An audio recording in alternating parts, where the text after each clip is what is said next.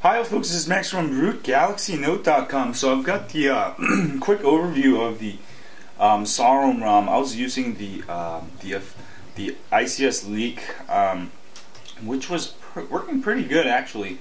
Um, just decided there, since there's no overclocking available, I checked out the uh, Saurom ROM.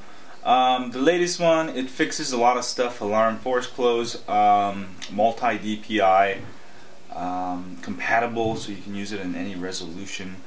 Um, and uh, you can see it's pretty much the same as the old one um, but it's it's the new version. And uh, it should be a little bit faster um, you know you still get the 16 toggles there. Um, I like overclocking so I need this. It's just I'm just a overclocking fiend I got it at 1.9 gigahertz um, at performance just for testing. Don't put it there. And uh, let's do a quick benchmark.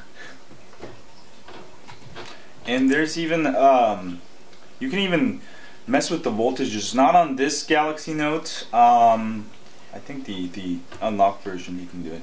So I might try to like tweak the voltages next um, on my other Galaxy Note and see how fast it can go.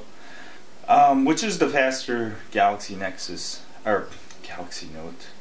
Um, just kind of early today here. Do do do. So this is probably the best, fastest ROM I think right now.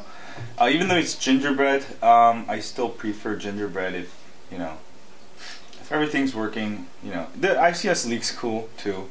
It actually works pretty great. Just doesn't have overclocking. Um, I would really like overclocking. And that will come when uh, Samsung releases their certain um, kernel code when um, then developers can just add their overclocking code and boom. So 4000 is not too bad. Um, overclock there, but don't leave it there.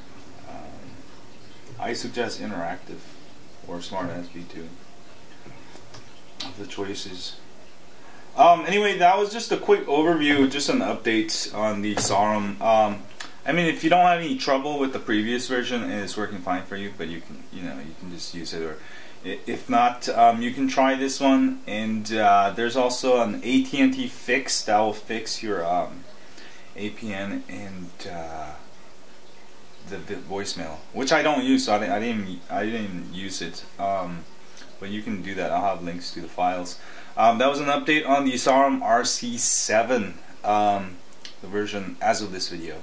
Anyway, if you have a Galaxy Note, don't forget to uh, sign up for my email list at rootgalaxynote.com where we update you once or twice a week with ROM reviews like this, updates, news and tips and more. Um, and we don't share your email with anyone else. And if you're on YouTube, don't forget to hit that like button.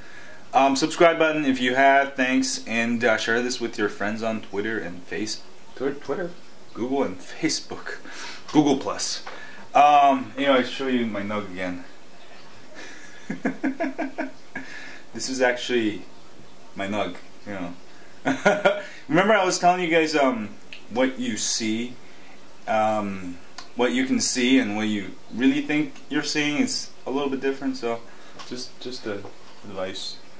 Um, anyway, thanks you guys. I'm gonna get really high on Android. Um, you know, get high. Stay high. Ooh yeah.